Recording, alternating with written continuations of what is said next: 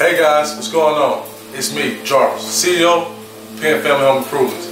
And man, I just want to tell you guys, thank you so much because today we hit 4,000 followers on Facebook, guys. Yeah, you heard me, 4,000 followers. And we owe it all to you and our Lord and Savior, Jesus Christ. So, I guess it's pretty safe to say, we're smoking hot.